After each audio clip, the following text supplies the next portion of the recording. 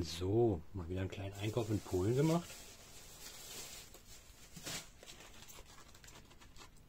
Wir die Strobes. 90 Sekunden von Triplex in F2. Zweimal.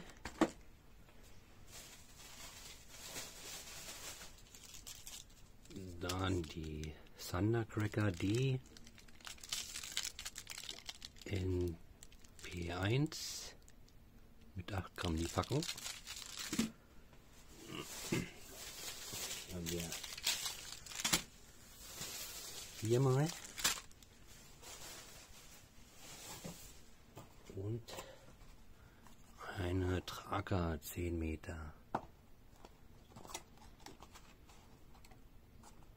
Müsste Pyromoravia sein oder so.